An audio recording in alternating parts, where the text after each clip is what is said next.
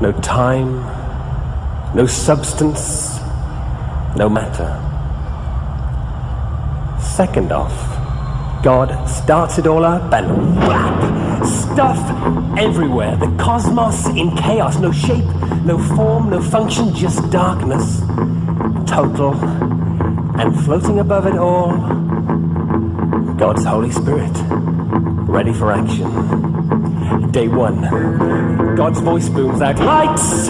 From nowhere, light floods the skies and night is swept off the scene. God gives it the big thumbs up, calls it day. Day two. God says, I want a dome. Call it sky. Right there between the waters above and below. And it happens. Day three. God says, too much water. We need something to walk on. A huge lump of it. Call it land. And let the sea lick its edges. God smiles. Now we've got us some definition. But it's too plain. It needs color. A million shades.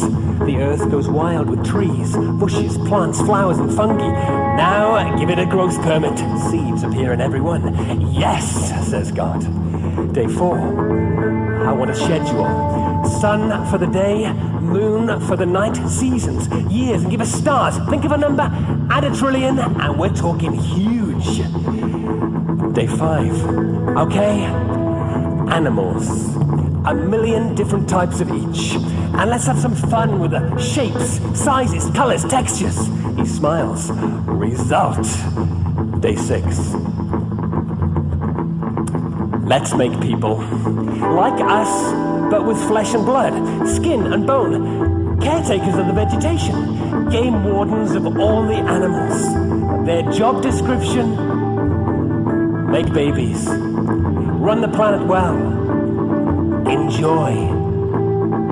God looks at everything He's made, says, Fantastic! I love it! Day seven. Job done.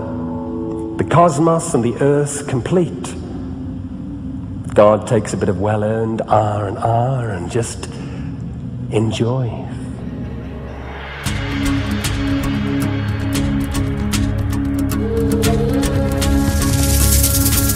And the paint falls like a curtain.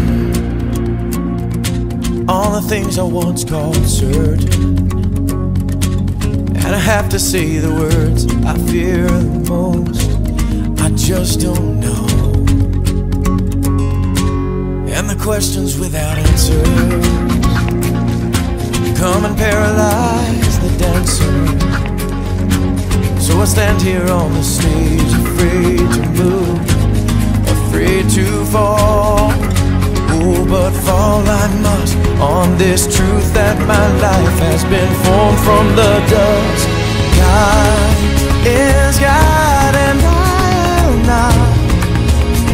I can only see a part of the picture He's painting. God is God and I am man.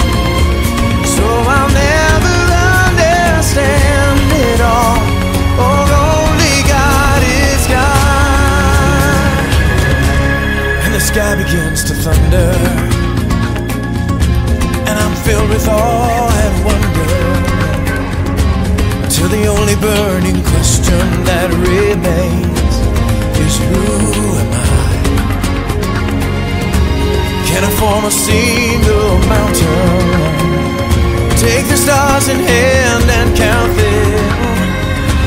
Can I even take a breath without God